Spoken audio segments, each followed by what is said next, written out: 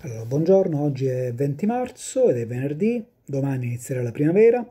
E come tutti i venerdì vi do dei compiti per casa, in questo caso sono sempre compiti per casa, sono compiti da fare nel fine settimana, non vi preoccupate, non ve ne do molti, eh, sono delle divisioni, fino adesso noi abbiamo fatto sempre divisioni in riga, anche perché erano sempre numeri piccoli, vediamo come si fa invece quando sono numeri magari un po' più grandi, quindi sono difficili da fare a mente, e eh, bisogna farle scritte e però in questo caso in colonna. Come le addizioni, le sottrazioni, le moltiplicazioni, quando sono piccoli si possono fare eh, a mente, invece quando iniziano ad essere numeri un po' più grandi è meglio farle in colonna. Sul vostro libro discipline questa cosa è spiegata a pagina 59, le chiama divisione in colonna con due cifre al dividendo. Vi ricordate dividendo era il primo numero, quello che bisogna dividere, divisore è il secondo numero. Quindi qua per esempio mi dà due divisioni per spiegare. La prima è 48 diviso 3. Vedrete che ci sta primo caso e secondo caso e adesso vi spiego perché. Allora, primo caso 48 diviso 3. Adesso io non, non posso prendere tutte e due le cifre insieme perché altrimenti sarebbe troppo. Prendo nel dividendo soltanto la prima cifra, quella delle decine per ricordarmi che prendo questo, gli metto un bel cappelletto sopra, sopra il 4. E devo vedere il 3 nel 4 quante volte ci va e devo fare la tabellina del 3. La tabellina del 3 per arrivare a 4 è subito fatta. 3 per 1 3 e ci va una volta, 3 per 2 6. Quando supera vuol dire che non ci va, quindi due volte non ci va, ci va una volta. 3 per 1 3, però non ci va in maniera esatta. Devo vedere quanto rimane di resto. 3 per 1 3, per arrivare a 4 ce ne manca 1. Quindi il risultato che ci va una volta lo scrivo qua, sotto questa lineetta. E invece, allora qua ci metto 3, nel 4 ci va una volta e lo scrivo qua. Con resto di 1. Questo resto lo scrivo sotto alla decina, sotto al 4 di prima. E mi rimane qua. Adesso invece devo calcolare le unità. Qua ho l'8, ci metto un altro cappelletto sopra l'8 e però non lo prendo da solo, lo metto, lo abbasso e lo abbasso vicino a quest'uno, quello di resto. Così questo qua diventa 18. E adesso devo vedere il 3 nel 18. Quante volte ci va? Rifaccio la tabellina del 3.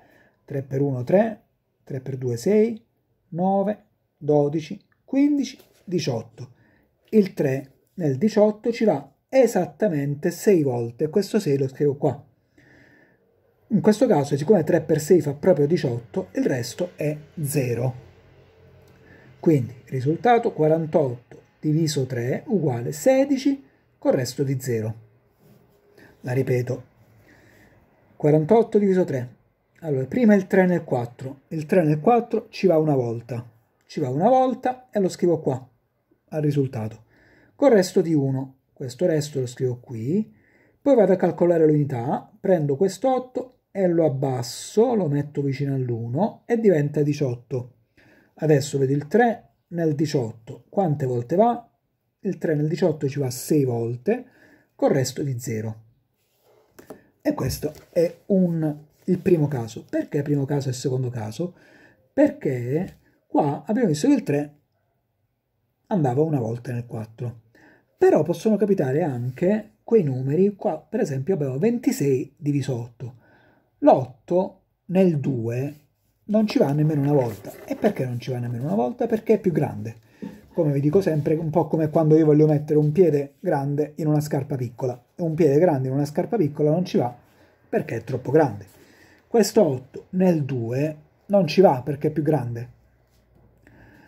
Però prendo quindi non solo il 2, ma faccio un cappello più grande che prende il 2 e anche il 6, quindi prendo il 26 in considerazione e quindi adesso posso fare l'8 nel 26. Quante volte va? Tabellina dell'8, 8, 16, 24. L'8 nel 24 ci va 3 volte e il 3 lo scrivo qui al risultato. 3 volte con resto di 2, perché resto di 2? Perché ho fatto 8 per 3, 24, per arrivare a 26 25, 26, me ne mancano 2. Quindi 26 diviso 8 uguale 3 con il resto di 2. da capo.